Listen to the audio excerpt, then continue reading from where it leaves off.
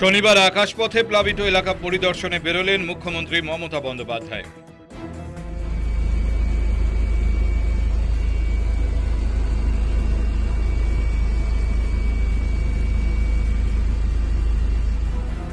দক্ষিণবঙ্গের প্রায় দশটি জেলা এই মুহূর্তে বন্যা কবলিত। অসংখ্য মানুষ ত্রাণ শিবিরে।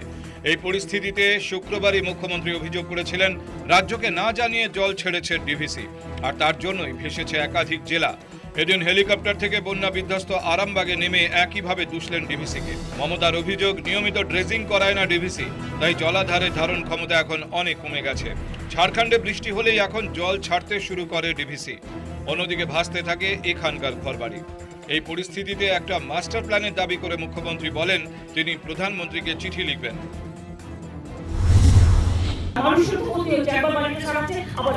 একবার একবার চাষি জমিগুলো চাষ করছে, জমিগুলো এটা কেন হবে?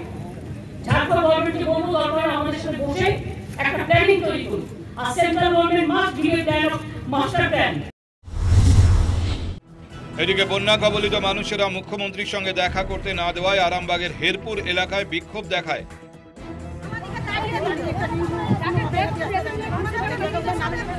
অন্যদিকে দক্ষিণবঙ্গের এই বন্যাকে ম্যানমেড বলে অভিহিত করে গত কয়েকদিন ধরে ডিভিসিকে দুষে আসছেন মুখ্যমন্ত্রী। এই ইস্যুতে পাল্টা মুখ্যমন্ত্রীকে আক্রমণ করেন রাজ্যের বিরোধী দলনেতা শুভেন্দু অধিকারী। শুভেন্দুর বক্তব্য, বর্ষার আগে যে কাজ হয়ে আসছে গত তিরিশ চল্লিশ বছর ধরে, এবছর সেই কাজ করেননি মুখ্যমন্ত্রী, কারণ তিনি ভবানীপুরের ভোট নিয়ে ব্যস্ত ছিলেন।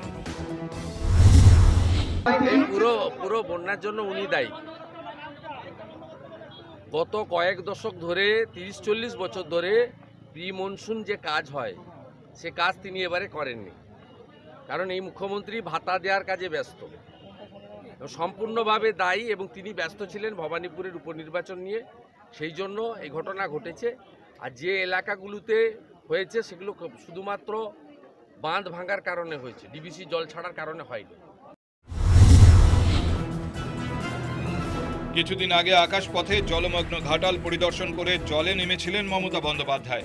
পাশেই ছিল শুকনো ডাঙা, যা নিয়ে বিরোধীরা কটাক্ষ করে বলেছিলেন, ছবি তোলার জন্যই শুকনো ডাঙা থেকে জলে নেমেছিলেন মুখ্যমন্ত্রী। এদিনও বন্যা কবলিত এলাকা পরিদর্শনে গিয়ে জলে নামেন তিনি। এদিকে ঘাটালের মাস্টার প্ল্যানের জন্য সম্প্রতি অর্থ অনুমোদন করেছে কেন্দ্র। এবার ডিভিসি লাগোয়া এলাকায় আরও একটি মাস্টার প্ল্যানের দাবিতে সরব হলেন মমতা বন্দ্যোপাধ্যায়। News time.